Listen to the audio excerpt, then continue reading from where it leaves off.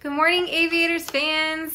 We are back with another interview. We are going to be joined today by Mr. Will Magie. We're just going to wait for him to join. I am coming to you from Houston, Texas, where I am usually with the Houston Sabercats, but I have been blessed to join the Ohio Aviators in Bermuda. Good morning, everybody. Thanks for joining. We're going to have Will Magie on in just a few seconds. Just going to wait for him to join. There we go.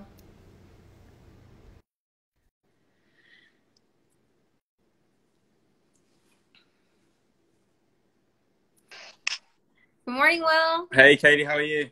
I'm great. How are you doing? I'm good, thank you. It's good to be on. Yeah. I heard you're in New Hampshire. Yeah, up in New Hampshire. Social distancing and staying away from the world. It's quite nice. You didn't like the Texas heat? Uh, no, I did enjoy it, obviously. um, but just, uh, yeah, managed to get home, which is quite nice because obviously we, uh, being rugby players and that, we don't always get to have an extended period at home. So it's it's been nice to uh, spend some time with the family. Right. I would definitely understand. Um, so you have played for the USA Eagles, and you're currently with the Austin Gilgronis as a fly half. Yeah, that's right. Yeah, down in uh, back back in MLR down in Austin. Yep. Um, and then where did you grow up?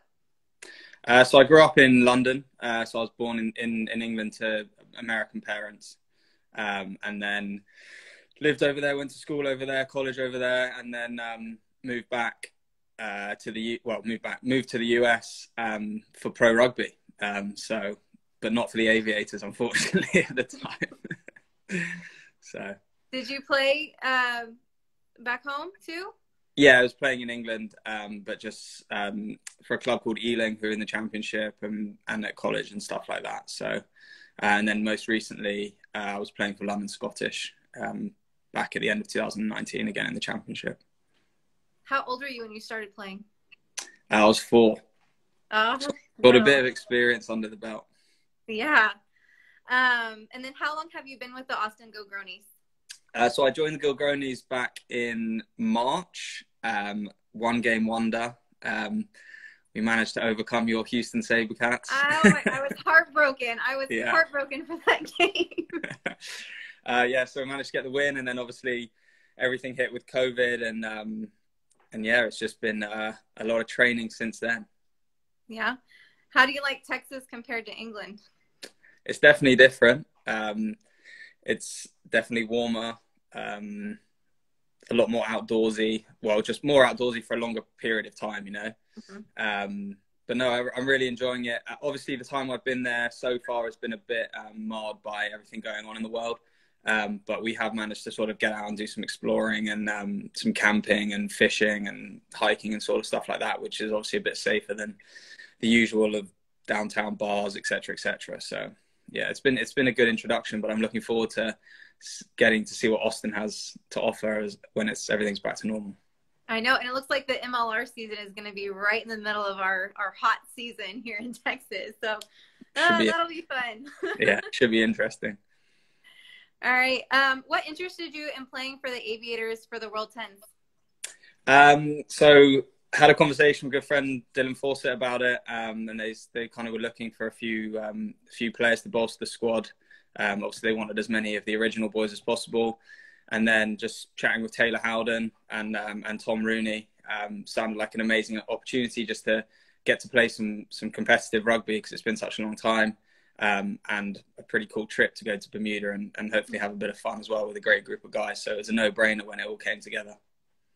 I know for me too. Yeah. Um, so, what have you been doing to prepare for the World Tens?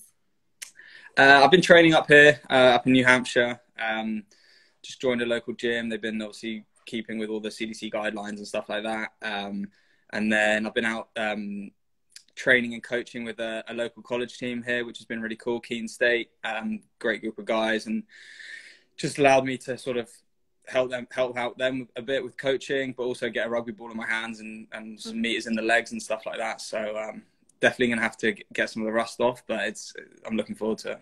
Yeah. Um, is there anyone you're excited to play with on the Aviators? Oh, a lot of the guys. Um, I probably, I'm, I'm excited to play with um, Chris Baumann again. Um, so Bowie and I were were on the the Denver team that played against Ohio a couple times in pro rugby. So I'm sure we'll be um, I'm sure we'll be punished accordingly at some stage during the tour for that.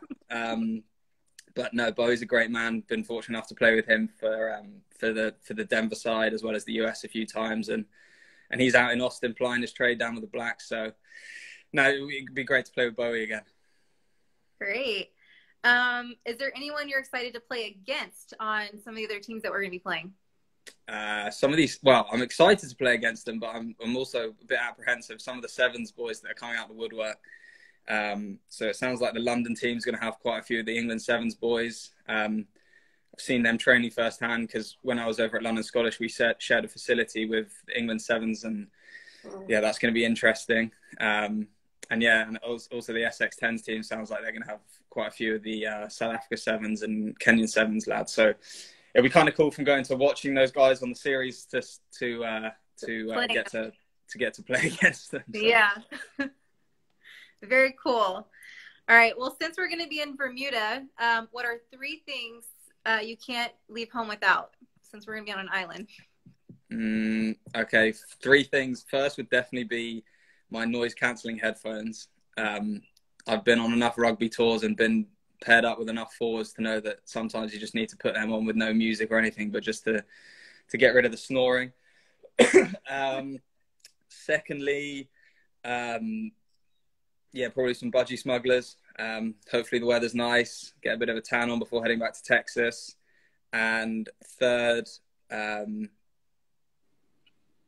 probably passport, so they let me back in the country when we need to come back. But I mean, if, if, I forget it and I'm stranded in Bermuda, that wouldn't be the end of the world.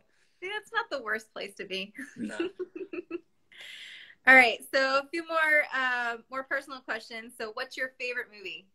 My favorite movie is Remember the Titans. Um, pretty pretty legendary movie, quite um, quite apt at the moment, I guess, with everything going on. But no, great movie.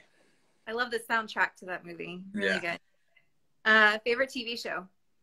Favorite TV show? Um, probably t- two, either House of Cards um, for a sort of drama or The Ranch uh, for a bit more of a comedy country boy that I've sort of became when I was living out in Colorado.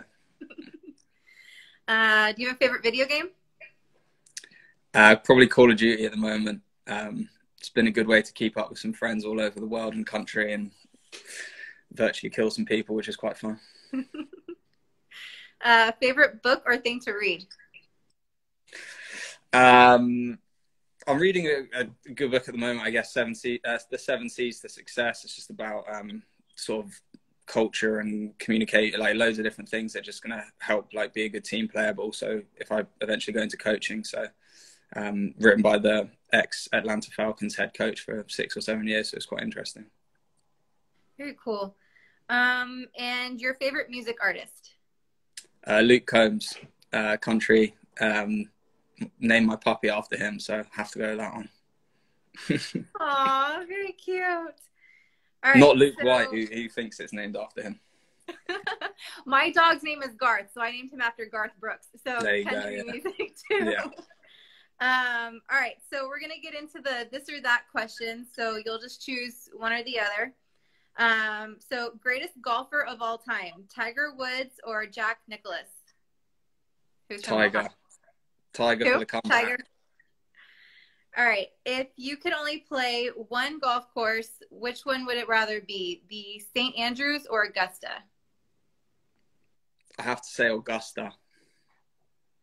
Awesome. Um, do you like cats or dogs more? You kind of just gave that one away. Dogs, yeah. Cats are weird. As a, as a cat, I can't trust her. Ah, cat people too. I'm sorry, cat people, but dog people just seem more friendly. Uh, all right. So, which Luke Combs song do you like more, "Beautiful Crazy" or "Hurricane"? Hurricane. Can you sing a lyric off of it? No. Maybe in Bermuda after a few Gilgronis. Okay. Um, all right. When you are texting, do you use the laughing emoji or LOL? Laughing emoji. Funny golf movie, uh, Caddyshack or Happy Gilmore? Happy Gilmore. Adam Sandler. Uh, margaritas on the beach or beers with the boys? Beers with the boys. uh, okay. If the on the TV show Friends, would you rather be roommates with Joey Tribbiani or Chandler Bing? Joey. How you doing? All right. Uh, sushi or Thai? Sushi. And what would you usually order if you're ordering sushi? Uh, all you can eat. nah, some sort of tuna or salmon or something like that. Something simple, but I love it. Yeah. Um, all right, and then best ten of all time: Dan Carter from New Zealand or Jonny Wilkinson from England. Johnny, hands down. Awesome. Well, thank you so much, Will. Can't wait to see you in Bermuda. Yeah, we'll see you in a couple days. So it's all really right. exciting. Yep. And I look really looking forward to pulling on the Aviators jersey. I promise I won't bring any of my Denver stuff. They look cool. Have you seen them? Have you seen Yeah, the they look awesome. They look awesome. Yeah. I can't wait. It's going to be a great trip, and uh, yeah, just can't wait to get going. Awesome. All right, guys. So um, Zach is going to be on tomorrow with Mr. Sean Riley, I believe. So make sure you tune in and watch him. And the next time you will see me will be in Bermuda. So thanks again, Will, and look forward to seeing you. Thanks, Katy.